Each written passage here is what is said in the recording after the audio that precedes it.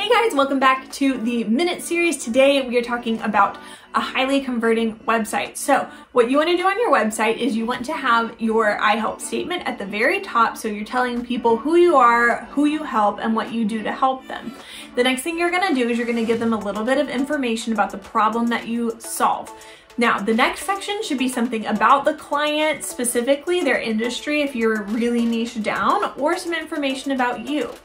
Your next segment, you want to build a little bit of urgency. So you want to tell them how to get in contact with you and why they should get in contact with you right now. Your next section on your website should be about social proof. So you want to have reviews, a link to your portfolio, and all the kind of information someone's going to look for to be like, is this person legit? Following that, you wanna have an easy way for them to contact you. So this can be a phone call or it could be a web form, whatever you wanna do, have this somewhere accessible on the website. After that, you want to build a sense of urgency. So let people know my spots are filling up quickly. I only take a couple clients a year. Why are you waiting?